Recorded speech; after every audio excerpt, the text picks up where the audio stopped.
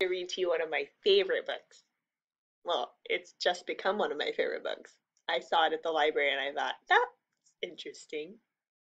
And then I read it. And it says, can you see the title? Where's the title? That's right. That's the title right there. And it says, I Can Only Draw Worms. But it's really a book about counting. And it's by Will Mabbitt. And it's also bright pink. Can you see the words there? This book is about worms. I can only draw worms. Here's worm one. One worm. Here's worm two.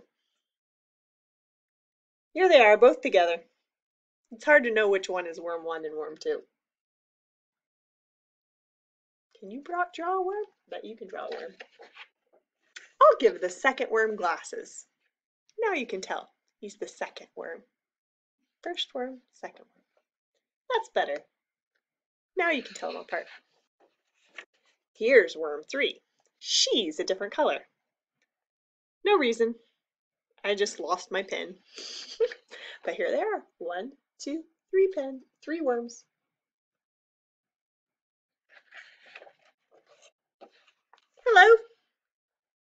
Worm 4. Worm 4 thinks he's in charge of all the other worms. I don't know why. What comes after 4? 5. Here's worm 5. She's a little sick, I'm afraid. Sick worms just look like normal worms. The next page is really exciting. Worm 6 is riding on a flying unicorn. I can't draw flying unicorn. Drawn worm 5 again, instead. Worm 6 flies his unicorn all the way to meet worm 7, who lives in outer space. On the way, worm 6 has an amazing adventure. We'll skip all that, because he can't draw. It. Here's a picture of him meeting worm 7. He looks all cool, but inside he's really excited. What comes after 7?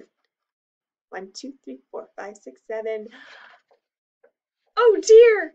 There's been a dreadful accident. It's not true that if a worm is cut in half, it makes two worms. It makes two half worms. Here's worm eight, and here's worm eight and a half. this page is blank. Worm nine is missing. And the others are starting to get worried.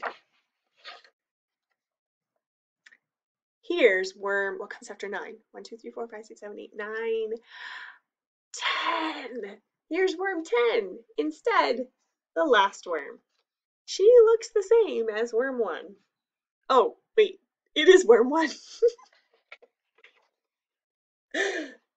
Here's worm 10, last as usual. And look who he's found. Worm 9. She just gone to the bathroom. Sorry. That's okay, worm 9. Everyone has to go sometimes.